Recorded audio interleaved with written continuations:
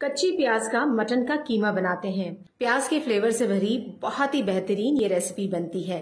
तो ये रेसिपी बनाने के लिए सबसे पहले लेंगे एक चौथाई कप तेल। और इसमें खड़े मसालों में डालने के लिए लेंगे आधा चम्मच काली मिर्च, एक काली बड़ी इलायची, छह लौंग, तीन हरी इलायची, दो टुकड़ा है दालचीनी का। साथ ही डाल लेंगे दो से तीन तेज पत्ता और खड़े मसालों को हल्का सा फ्राई कर लेते हैं करीब आधे मिनट के लिए। अब इसमें डाल लेना है आधा किलो कीमा। इसे मैंने अच्छी तरह से धोकर इसका सारा पानी ड्रेन कर लिया है।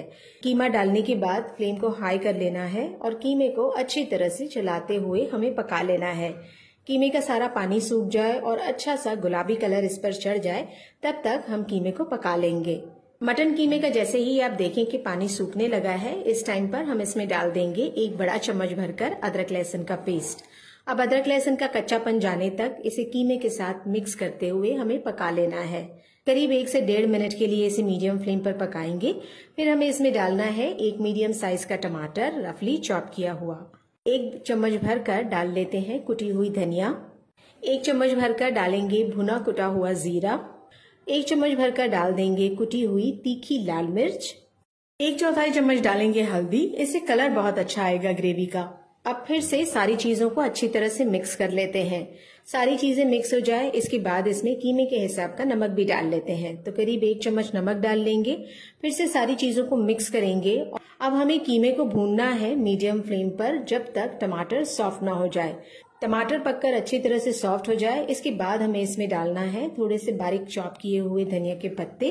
अदरक के हैं थोड़े से जूलियंस हरी मिर्चें हैं, बारीक चॉप की हुई दो से तीन। फिर से मीडियम फ्लेम पर अब सारी चीज़ों को मिक्स करते हुए हमें भून लेना है। कीमे की जितनी भी हमने भुनाई की है, बिना पानी ऐड किए हुए की है। कीमे के अपने पानी में हमने इसे पकाया है। अब हमें इसमें डालना है तीन से चार मीडियम साइज़ की प्याज। थोड़े मोटे स्लाइसेस में कटी हुई। साथ ही प्याज के डाल देंगे आधा चम्मच गरम मसाले का पाउडर। अब अच्छी तरह से सारी चीज़ों को मिक्स कर लेंगे। प्याज को लो फ्लेम पर अब कीमे के साथ ढककर पकने देंगे। प्याज का अपना पानी छूटेगा और इसी में ये अच्छी तरह से नर्म मुलायम हो जाएगी। दस मिनट बाद ढक्कन हटा लेंगे। प्याज ज़्यादा नहीं पकी है, हल्की सॉफ्ट हो गई है। इस टाइम पर हमें फिर से इसमें डालना है थोड़े से बारीक चॉप किए हुए धनिया के पत्ते, बारीक चॉप की हुई हरी मिर्च और थोड़े से अदरक के जूलियंस। अब मीडियम फ्लेम पर फिर से सारी चीज़ों को मिक्स कर लेते हैं। बस एक से दो मिनट के लिए इसे पकने देंगे मीडियम फ्लेम पर। चलाते हुए फिर हम फ्लेम बंद कर देंगे। तो ये कच्ची प्याज का हल्के मसालों वाला बढ़िया सा बेहतरीन जायके वाला मटन कीमा बनकर रेडी हो गया है। रोटी, पराठा, दाल चावल या खिचड़ी के साथ आप इस रेसिपी को सर्व कर सकते हैं।